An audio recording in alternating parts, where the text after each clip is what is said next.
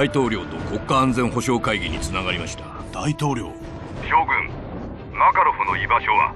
いえただし奴の爆弾製作者の情報をつかみ事態は進展しています。進展だとそいつを確保したのかね？デルタチームが確保したばかりです。映像を送ります。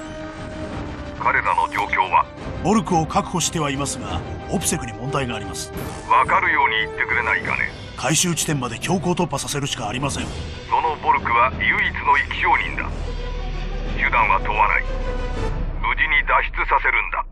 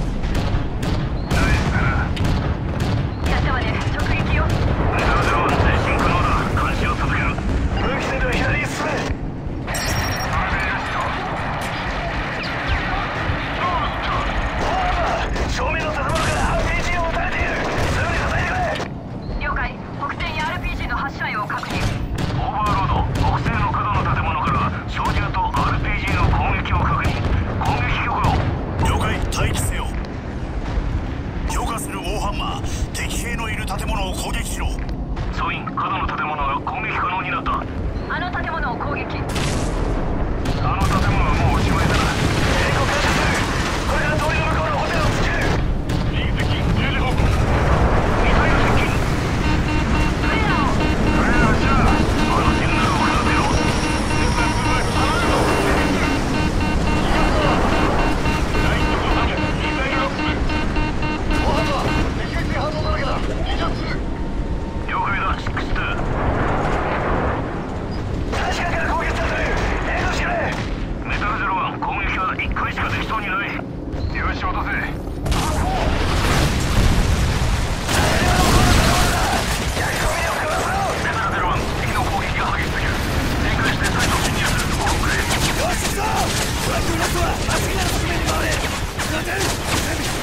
go, go, go!